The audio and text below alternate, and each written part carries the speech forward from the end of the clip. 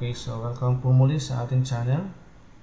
Ang video po na to ay ah, para sa mga grade 11 students taking up general mathematics na medyo nahihirapan pa rin when it comes to representing an inverse function through table and graph. Okay, so simulan na po natin.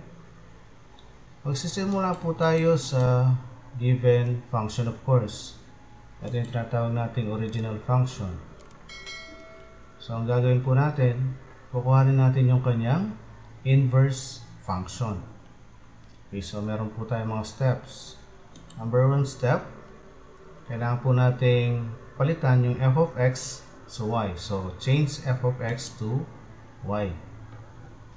Then, sunod po, interchange x and y. So, yung x magiging y, yung y magiging x. Then, last is, we're going to solve for y in terms of x. So, paano gagawin natin? Yung ating uh, constant dito, sa side na to, constant term natin which is positive 1, ililipat natin sa kabila. So, from right to left. So, magiging x minus 1 is equal to 2y. Then, divide both sides by 2. So, pwede natin makancel yung 2. Okay, sagot natin ay y is equal to x minus 1 over 2. Then, papalitan lang natin yung ating y ng f inverse of x. So, f inverse of x is equal to x minus 1 over 2. Then, pagkatapos natin nakuha yung inverse function, kuhanin natin yung kanilang table of values. Okay? So, unahin natin kuhanin yung table of values para doon sa original function, which is f of x is equal to 2x plus 1. So, mag-assign tayo ng value sa x Uh, tanda lang natin, pagka nag-assign tayo ng value sa x, kailangan consecutive sila or yung tinatawag na magkakasunod. So, pwedeng uh, multiples of 2, 3, or 4. Okay? So, basta kailangan sunod-sunod sila. So, from negative to positive, pwede rin. Okay? So, mag-assign tayo ng values dito mas mainam na i-assign na values ay malapit sa 0. Okay? So, meron tayong limang columns dito. So, magkakaroon tayo ng pag-assign ng values na 5. Okay? So, pipili ako ng mga values na malapit sa 0. So, start tayo sa negative 2, negative 1, 0, 1, and 2. Okay, so pagkatapos natin uh, assign na yung value sa x, kuhanin natin ngayon yung value sa y. So, paano yun? So, yung mga values dito sa x, re-replace lang natin yung x dito sa original function. Papalit natin yung mga values na to dito sa x natin. Okay? So, simulan natin sa negative 2. Kung ipapalit natin yung negative 2 sa x dito, okay, so negative 2, so by the way, ang ibig sabihin ng uh, 2x dito is 2 times the value of x. So, kung ano man yung value ng x, multiply natin sa 2. Okay? So, if it is negative 2, negative 2 times 2 is negative 4. Negative 4 plus 1 is negative 3. Okay? Sunod natin yung negative 1. Negative 1 times 2 is negative 2. Negative 2 plus 1 is negative 1. How about 0? 0 times 2 is 0 plus 1 is 1. How about 1? If x is 1, so 1 times 2 is 2. 2 plus 1 is 3. Then 2 times 2 is 4 plus 1 is 5. Okay. So, meron na tayong value sa x and y. Sunod natin ngayon yung sa inverse function. Okay?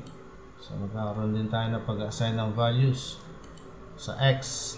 Okay, so dito, gagawin lang natin dito, kung ano yung nakuha nating value sa y dito sa ating original function, sila lang yung ating i-assign na value sa x dito sa ating inverse function. So, meron tayo dito, negative 3, negative 1, 1, 3, and 5. Okay. Ngayon, meron na tayong value sa x. Gagawin lang natin is assign natin or kuhanin natin rather yung value sa y. Okay, paano yun?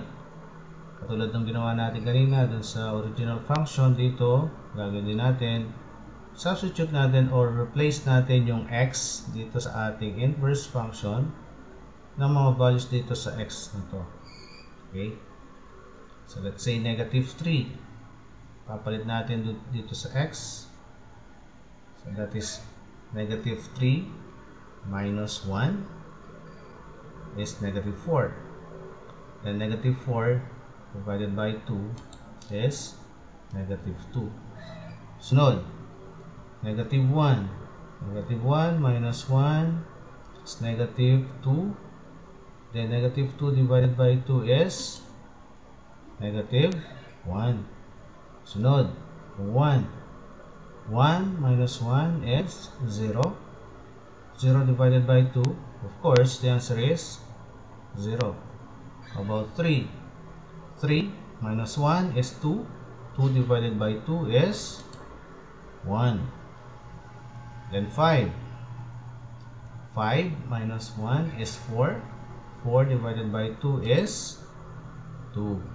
Okay, so meron na tayong values sa x and y dito sa ating inverse function.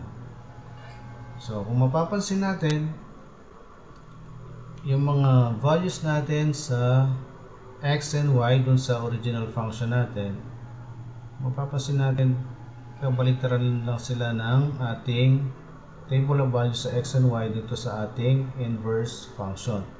So, kung ano makikita natin na domain dun sa ating first function or original function, sila yung makikita natin yung value sa ating range sa ating inverse function. At kung ano naman yung ating range dito sa original function, ito naman yung magiging domain natin dito sa ating inverse function. So, aside from the table of values, pwede rin natin ipakita yung kanilang graph. Okay? So, ito yon. so, simulan natin sa pag-plot ng points. Okay? So, meron tayo dito sa original function at yung mga tinatawag nating ordered pairs. So, first ordered pair is negative 2, negative 3. So, ating x-coordinate is negative 2, y-coordinate is negative 3. So, hanapin natin yan sa ating Cartesian plane. Negative 2, then negative 3. So, ito yung point na yon. Okay? Next, ordered pair is negative 1, negative 1. So, negative 1 sa x, then also negative 1 sa ating y. So, ito yung point na yon. The next ordered pair is 0, 1. So, 0 sa x. Tapat mismo ng x-axis. Then, 1 sa ating y.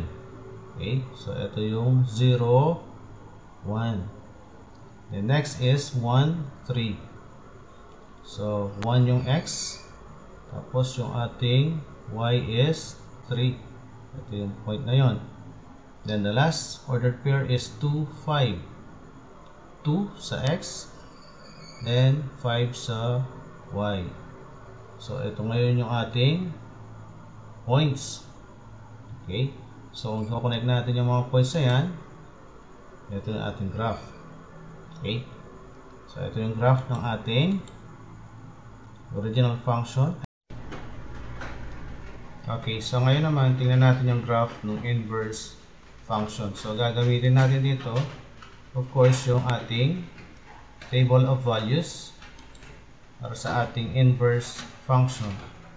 So, tulad ng ginawa natin kanina dun sa original function, kuhanin natin yung mga ordered pairs of numbers. So, unahin natin dito sa first ordered pair, negative 3, negative 2. So, negative 3, negative 2, hanapin natin sa Cartesian plane. So, negative 3, then negative 2 sa y. So, ito yung point na yon. The next, negative 1, negative 1. So, negative 1 sa x, also negative 1 sa y. So, ito yung point na yon. The next is 1, 0. So, 1 dun sa x, tapos 0 sa y. So, ito yung point na yon. Then, we have 3, 1. 3 sa x. Then, 1 sa y. So, ito yung point. Then, last ordered pair, we have 5, 2. So, 5 sa x. Then, 2 sa y. So, ito yung mga points natin. Kapag kakinonect natin, meron tayo ngayong graph for the inverse function which is f inverse of x is equal to x minus 1 over 2 so again naipakita natin yung graph ng ating original function at the same time yung ating inverse function. Okay? So ganun lang. So, sana nakatulong ito sa mga grade 11 students taking up general mathematics